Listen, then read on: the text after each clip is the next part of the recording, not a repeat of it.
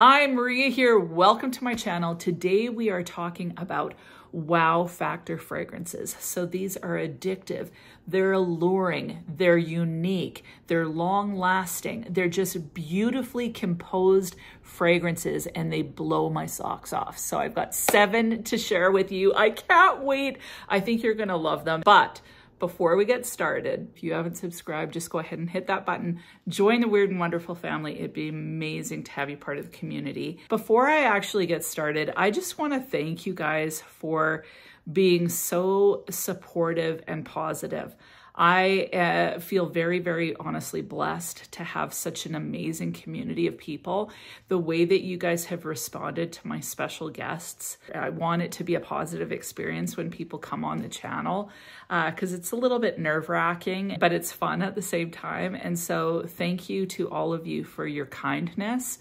Uh, and just the way that you've supported each person that's been on the channel. It's a really wonderful wonderful little boost. So thank you. Like I really, really appreciate it. I'm glad that you're enjoying uh, the the content as well because I just think it's really fun to have guests on. So thank you so much. And let's get into it. I decided to start with two kind of uh, unicorns. They're very, very difficult to come by. Uh, but I wanted to share them because I don't usually talk about them because you can't get them. But at the same time, these are just such beautiful fragrances. And probably my very first absolute wow was very early on in my collection and it was Alien Essence Absolute. So this one you can no longer find. That said, Val has a dupe from Dua um, and when we sprayed them side by side, um, it was uh, not quite as rich and not quite as sweet to begin with, but the dry down was almost identical. Like you couldn't tell them apart. And honestly, the Dua one was lasting longer than Alien Essence Absolute. So, um, uh, you know, if you're interested in this DNA, the Dua dupe is actually really pretty decent. So I'll have everything linked down below. This is the most amazing kind of incensey alien version. So it's got myrrh in here. There's vanilla. Like look at the darkness of the juice. Like even the color of that liquid is just so amazing. Uh, the fragrance, you're getting that alien DNA, but you're getting it amped up. At, like the sexy factor is amped up. There's a bit, bit of a medicinal vibe from this, from that myrrh, I think. Honestly, I prefer this version over the actual alien, but this is like sexy times 10. so this is way sexier than Alien, to be honest. It is so, so gorgeous but you've got to like that resinous, incensey jasmine uh, combo to really enjoy this. So I can see it being off-putting maybe for some, some, but for those of you that like that sweeter incense balsamic vibe, uh, paired with the vanilla and the jasmine. Seriously, this is the most sexy thing. Honestly, I would consider this to be the most sexy perfume I have ever smelled. Like it's almost way too sexy. Like seriously, it's phenomenal. If you smelt it and like it, you know. Uh, if you want to smell it, the closest dupe that I've smelt so far is definitely the Dua. Now I hear Julianna Perfumes uh, has a dupe of it too don't have any idea on what that compares to. Julianna's perfumes are really, really decent uh, quality perfumes too. So I'll leave both of them actually linked down below for you. But seriously, this is a wow factor fragrance. It smells rich, decadent, classy, uh, sophisticated, but like you're this temptress uh, that will devour her prey. like seriously, wow, wow on a totally lighter, more flirty wow is the original La Belle by Jean-Paul Gaultier. So this one has been around for quite a while. I prefer this over Le Parfum. I've smelt both. Uh, this one to me has my heart. It's a juicy, rich, decadent, kind of spiced pear. Um, it's fruity, it's flirty, it's sexy, but very, very sweet and luscious. To me, this is a pretty fragrance. When I want to feel pretty, I put it on. I never not feel pretty when I put this fragrance on. It's a bit of a compliment getter as well. So I absolutely love this fragrance. I just imagine a beautiful kind of poopy, poopy. Nothing like those beautiful poopy dresses. A beautiful poofy dress. Like I just, I, I just, I love this fragrance. It's, it's like a princess fragrance. So the other one, Temptress. This is Princess Wow. You can't have a bad day with this fragrance on. Plus the bottle is a wow. Like look at like the necklace, the, the shape, like the little bum. Like I love this little bum. Like the bum makes me happy. I, uh, yeah, I just, I love everything about this fragrance. It's my favorite Jean Paul Gaultier fragrance by far. It's the one that gets me the most compliments. And uh, yeah, you can't help but feel pretty in this fragrance. Another unicorn that's an absolute kind of masterpiece, in my opinion. It's a total wow fragrance is Tom Ford Noir Pour Femme. Now, I know that there's a, a Noir Extreme. It doesn't doesn't do the same thing to me. Uh, the Noir Extreme is a lot more masculine in my opinion, so I definitely prefer the Pour Femme.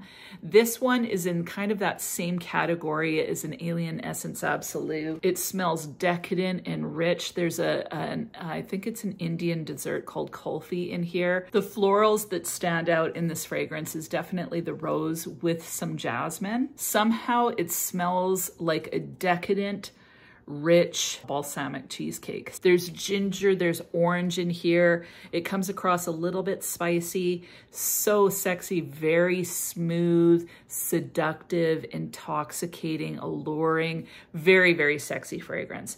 This one I haven't seen duplicated. If you know if there's a dupe that's decent of this one, uh, let us know. I don't know how hard it is to find. I think it's pretty hard to find.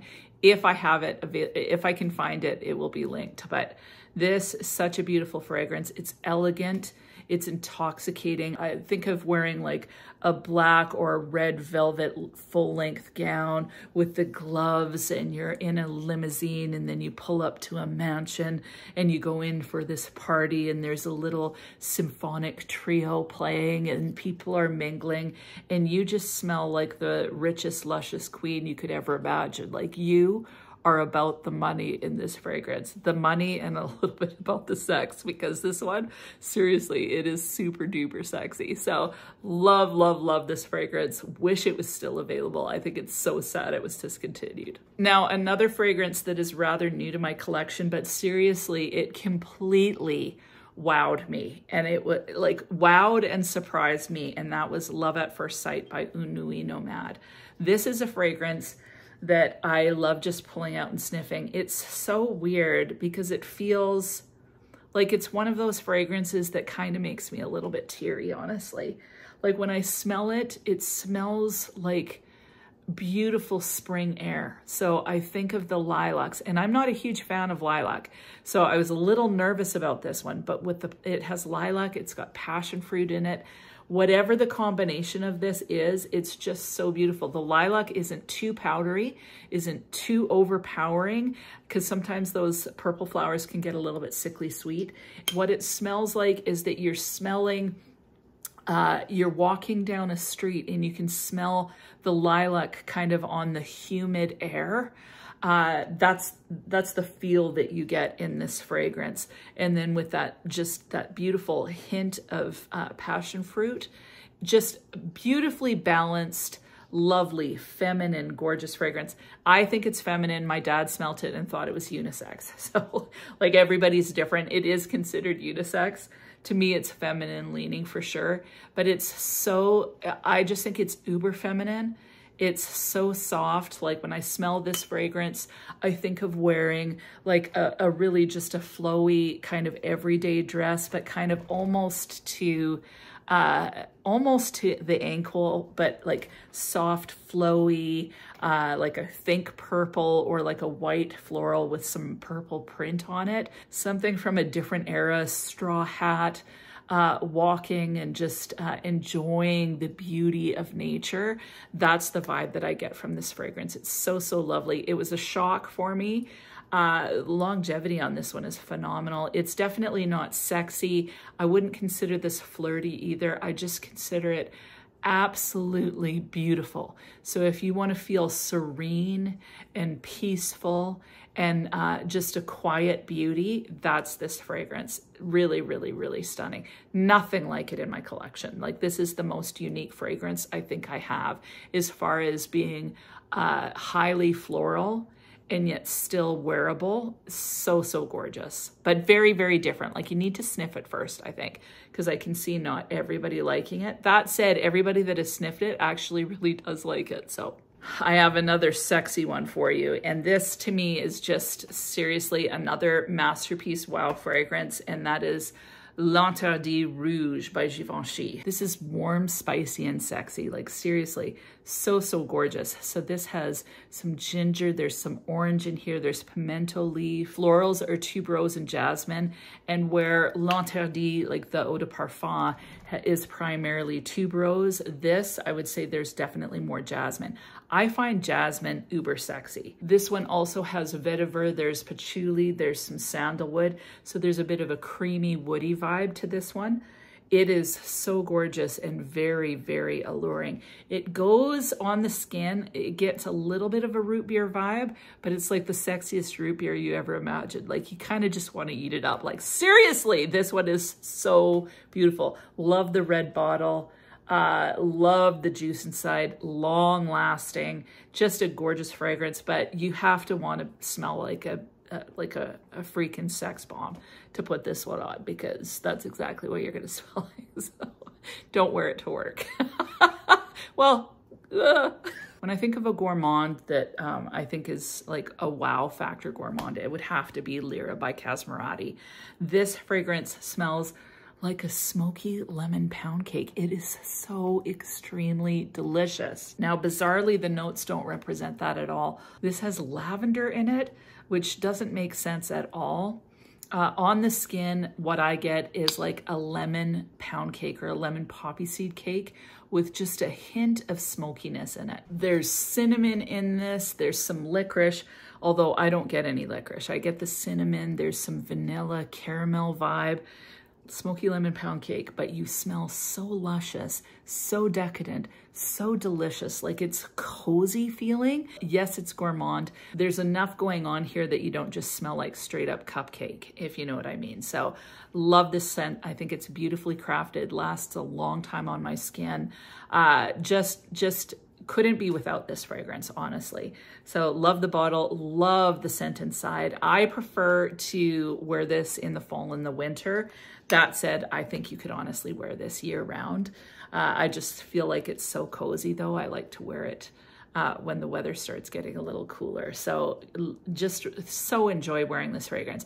Whenever I put it on, I feel cozy. I think I smell delicious and decadent, but it makes me feel like I've got just a huge warm hug on. So absolutely beautiful composition. From the Casamorati line of Xerjoff, Lira Eau de Parfum. And the last absolute wow fragrance, like this one blew my socks off this year and it was Musc Noir Rose for her. Now, apparently they've got another one coming out. What is it called? Something Always, I think. I think it's got peony in it and a, a few other things like that. So I can't wait to smell that one. Sounded like it would smell a little bit more light, a little bit more like daytime. But this fragrance, such a stunningly beautiful, sexy, wearable fragrance. This could be a signature fragrance, but it's a signature fragrance for uh, you know, someone whose voice is a little bit sexy and, uh, you know, you're quite alluring, uh, this would be the fragrance you'd want to wear.